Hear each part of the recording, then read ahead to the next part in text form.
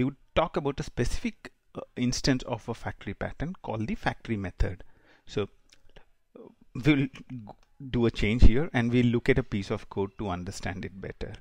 So what you're looking on the screen is a simple example of a factory method. So you have a person factory. So this is the entire code highlighted.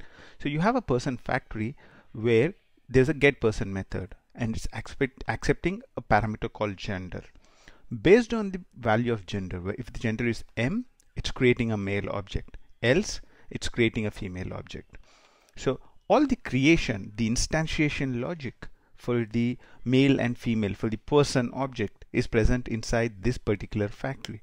What this helps is in reuse of it. So once I have a factory, I can use it anyway to create different persons. I can have male, female, uh, different, uh, like uh, later if I want to add uh, more stuff, I mean, uh, yeah. So if you uh, in other circumstances where you have different varieties of things to be created this helps you in making it uh, much more extensible.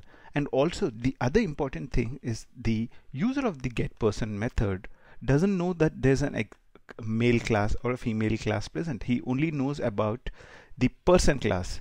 So whoever whichever method calls the get person method knows that there's something called a person class but it doesn't know the existence of a male and a female. So you can even hide the existence of certain classes and in there. So the factory pattern is this factory method pattern helps us to create a instance of a single family of objects and can separate the instantiation and also it can separate the existence of this object. So that tomorrow I want to change this male object to something else. I want to create a new class. I can do that without affecting the other methods which are using this.